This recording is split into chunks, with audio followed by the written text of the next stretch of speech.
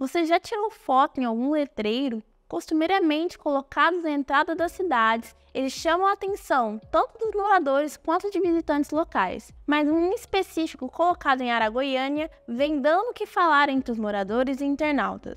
Eu sou Gabriela Pinheiro, repórter da redação do Portal 6 em Goiânia e conto neste vídeo sobre essa placa que vem dando o que falar. O item foi fixado recentemente no município e desde então tem arrancado risadas e comentários ácidos de alguns residentes que a consideraram feia.